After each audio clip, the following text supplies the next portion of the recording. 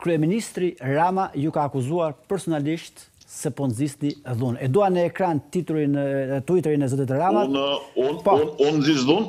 Po ja, ja çfarë ka thënë kryeministri Rama pas incidentit të Kavajës. Po, po, po le çka ka, le çka ka thënë, le çka ka thënë ai se po. Po. A e mbani mend ça i tha Damianit? Damian forcat tërmet tërmet në Vlorë? I tha kryeministri është e vërtetë. A ia tha atë që tha? Ia tha por e kishte fjalën për vota. Tani unë po iki në Kavajë Po. edhe i ftoj të gjithë e i kam ftuar të gjithë që të ruajnë qetësinë. Po. Po iki në Kavajë që të shoh situatën në vend. E para, së dyti, mbajmë shënim gjithë emrat e atyre që kanë bërë provokimin në zyrën elektorale të Partisë Demokratike. Policia t'i lërë ato përrallat jo motive të dobëta e motive të padobëta. T'i lërë ato përralla policia, sepse një ngjarje e tillë ndodhi edhe para dy netësh, para një zyre të LSI-së në Sauk.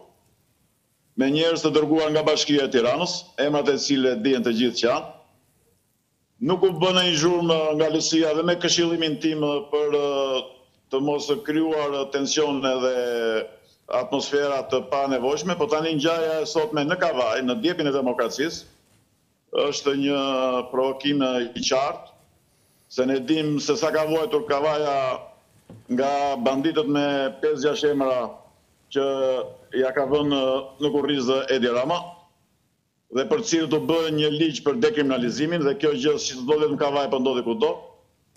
Edi Rama hiq dorë nga prekja e zgjedhjeve. Edi Rama, Për çdo pikë gjaku shqiptari që do derdhet do të japësh llogari dhe nuk do të të vlejë kartela shëndetësore për këtë çështje.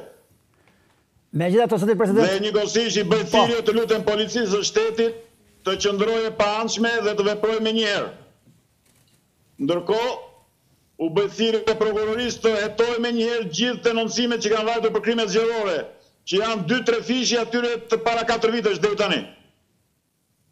Dhe jam i sigurt që pavarësisht nga gjithë këto përpjekje për të frikësuar qytetarët, pavarësisht nga sistemi i rryer i patronazhimit apo i spiunimit i cili tashmë është një Është një fakt dhe që do të trondisë dhe Europën dhe kam frikë do të trondisë dhe NATO-n, sepse jemi një vend anëtar i NATO-s edhe siç e shpjegova edhe sot përbën një problem mjaft serioz, jo vetëm për sigurinë kombëtare, por edhe për atë ndërkombëtare, pasi që nga momenti që janë në disponim nga Partia Socialiste, dhe jo vetëm kaq, po tani janë shpërndarë gjerësisht këto të dhëna të qytetarëve shqiptarë.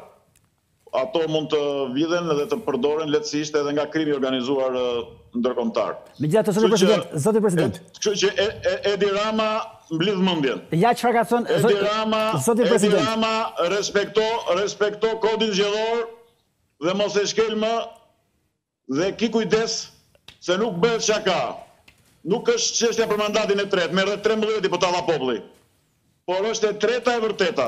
Ja çfarë ka thënë zoti president për ju Edi Rama, menjëherë pas ngjarjes. Plagosja e Kavajës, Edi Rama, Plagosja e Kavajës, e patolerueshme, autori duhet çuar në pranga sa më shpejt, Politizimi i kësaj ngjarje është po aq i keq sa vetë ngjarja. Jo mbaroj, ta mbaroj, Edi Rama ka liru kriminelët nga burgjet për t'u bërë presion qytetarëve. Zoti President, kemi fakte. Dëgjoja akuzën. Dëgjoja akuzën. Është një Altin atje që policia në vend të arrestojë, nga Shijaku nga Durrësi e ruan edhe vetë do të bëjë presione njerëzve.